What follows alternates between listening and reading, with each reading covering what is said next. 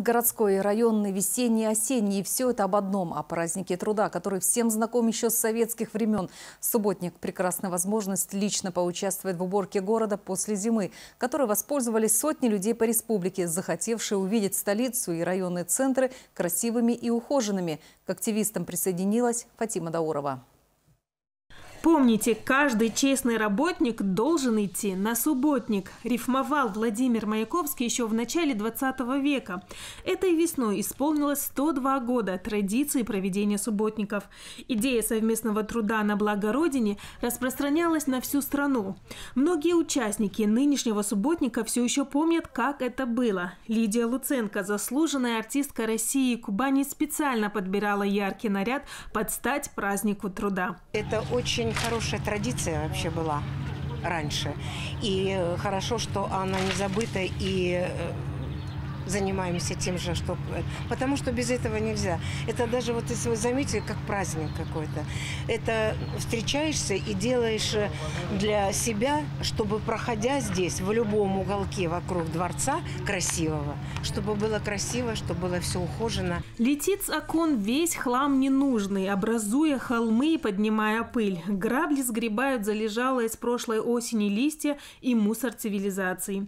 Территория Дома культуры столицы преображается преображается на глазах, и все действие проходит с музыкальным сопровождением.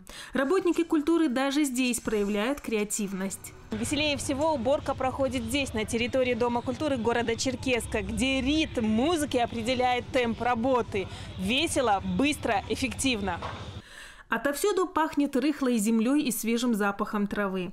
На освобожденной от мусора территории уютно расположатся улитки, которых заботливая рука уберегла от грабли и венка.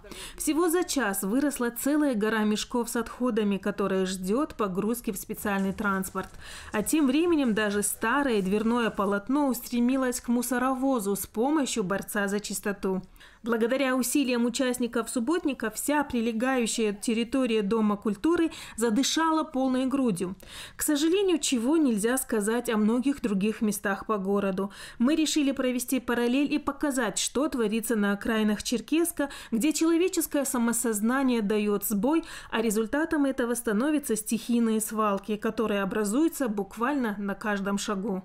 Далеко ходить не надо. Юго-восточная часть города за железной дорогой лесополоса. Или сейчас можно с уверенностью сказать, что место свалки.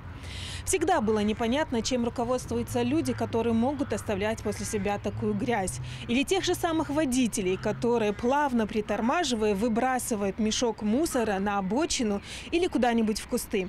Или того же самого соседа, который каждый раз на полпути почему-то передумывает и оставляет пакет мусора где-то в подъезде или во дворе.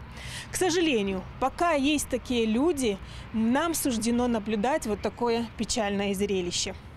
Зеленая трава, проросшая через пластик и резину, цветущие деревья на фоне старых шин и полиэтилена. Пейзаж мог бы стать основой для футуристической картины, если бы все это не происходило на самом деле здесь и сейчас. Фатима Дорова, Роберт Джигутанов, Вести, Карачаева, Черкесия.